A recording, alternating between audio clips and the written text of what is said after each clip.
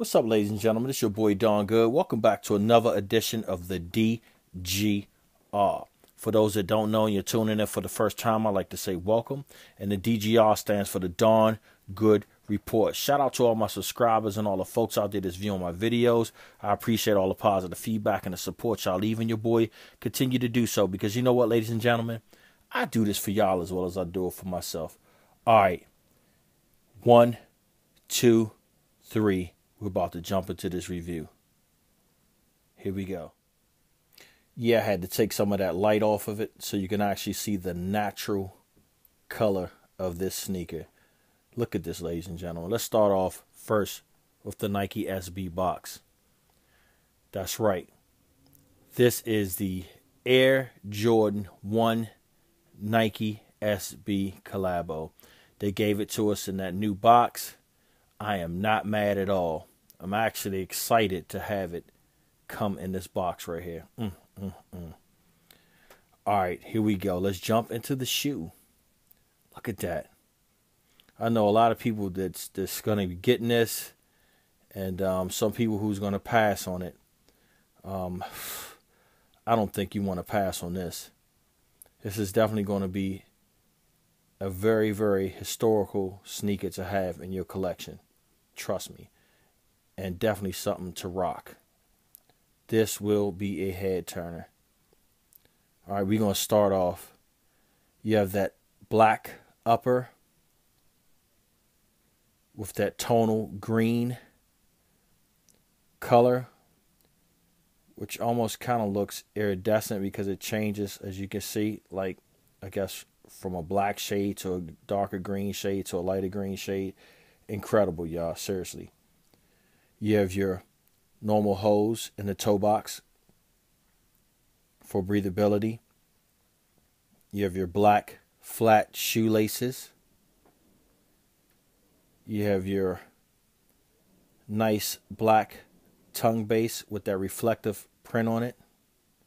You have that same print on the upper and the ankle area as well. You have your Air Jordan logo right there. And not to mention, whew, you have that Air Jordan 1 SB right there. And if you guys don't know, that is special script by Craig Steck. And I was licensed to Nike to use for this particular shoe. And he also helped with the design of this monster. Mm, mm, mm. This is definitely a masterpiece, in my opinion. Look at that. Patent leather on the back area. Wow. You got that nice, clean white midsole. On your outsole, you have what appears to look like carbon fiber, but the print that's on the upper. And because the sole is translucent, that is remarkable. I'm serious. They did a awesome, awesome job with this. This is definitely worth the wait. You have that premium leather upper.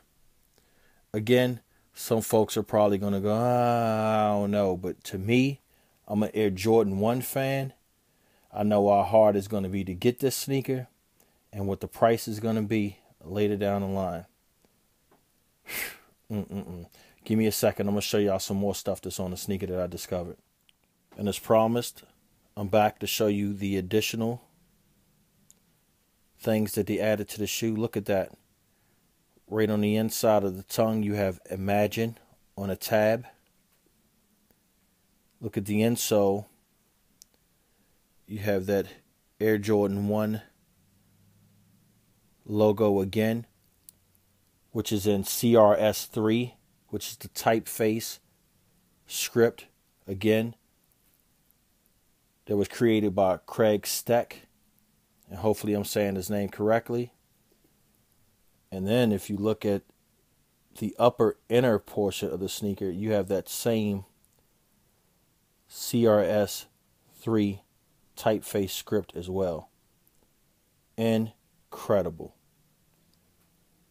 I mean, how could you not love this sneaker right here? I'm serious. They put some work into this. And they gave us flat laces, and oh, I forgot to mention, they also gave us SB laces as well. So if you want to take the Jordan laces out, you could put your SB laces in it to give you that SB feel uh, to the fullest. Dope sneaker. Let me know if you copped or if this was a pass for you. This was definitely a must for me, and I had to add it to the collection. And again, you're seeing that different color right now because I shed the light on it. And that's why you're seeing that. All right, this your boy Darn Good signing out with another DGR. Don't forget to subscribe, ladies and gentlemen.